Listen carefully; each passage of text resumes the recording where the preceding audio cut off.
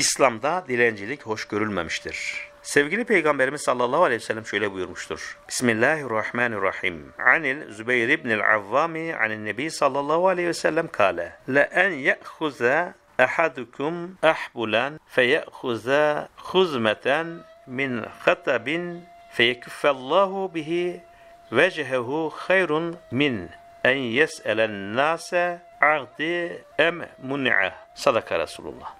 Zübeyir bin Avvam'dan radıyallahu anh rivayet edildiğine göre Peygamber sallallahu aleyhi ve sellem şöyle buyurmuştur. Sizden birinizin ipini sırtına alıp bir demet odun getirerek satması ve böylelikle Allah'ın bununla onun şerefini koruması halktan istemesinden daha hayırlıdır. Kim bilir belki de bir şeyler verilir, minnet altında kalınır veya hiçbir şey verilmez, zillete maruz kalınır. Buhari Müsakat 13 nolu hadis-i şerif. Konuyla ilgili başka bir hadisin sonunda şu bilgi vardır. Bu odun toplayıp satarak geçim temin etmek kıyamet günü yüzünde dilencilik lekesiyle gelmeden daha hayırlıdır. Dilencilik ancak şu üç kişi için caiz ve mümkün olur.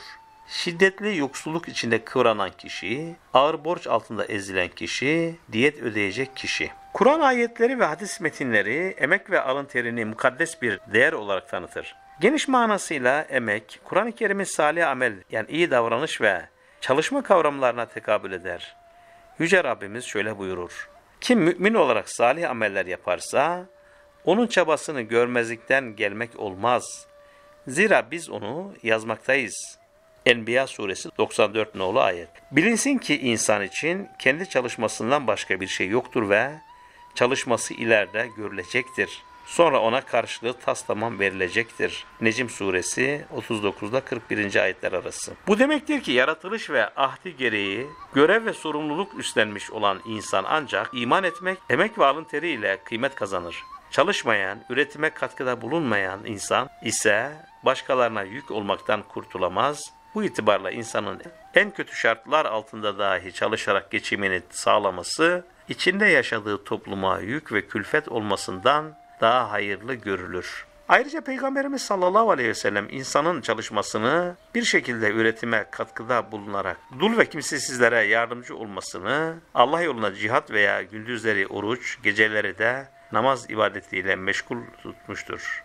Hadis-i şerifte ihtiyaç içinde olan bir insanın dilenmektense sırtıyla odun taşıyıp satmasının şerefli bir meslek olduğunu işsiz insana bizzat devletin iş imkanı bulması gerektiğini ifade etmektedir. İş yapabilecek ve çalışabilecek durumda olan bir insanın dilenmesi adeta başkasının emeğine ortak olması ve ondan bir hak iddiasında bulunması demektir.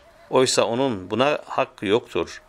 Bu durumda mutlak manada dilenmek haramdır. İnsanın ancak başka bir çıkış yolu olmaması halinde temel gıda ve ihtiyaçlarını temin edememesi veya borcunu ödemekte çaresiz kalması durumunda başkasından isteme hakkı vardır. Aksi bir uygulamanın mümin insanın izzet ve şerefini yok edeceği muhakkaktır.